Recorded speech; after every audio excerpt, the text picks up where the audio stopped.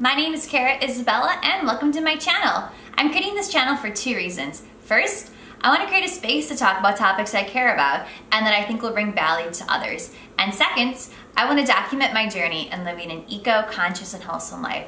Some of the topics this channel will focus on are eco living, design, NYC, travel, and having a healthy and active lifestyle. So, who exactly am I?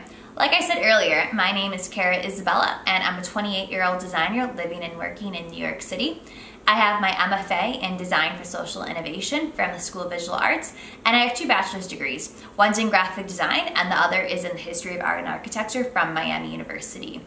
Uh, throughout my career, I've had the honor to work with some amazing clients, including American Greetings, Ann Taylor, Condé Nast, Accenture, the NYC Department of Small Business Services, and currently I'm a consultant at UNICEF.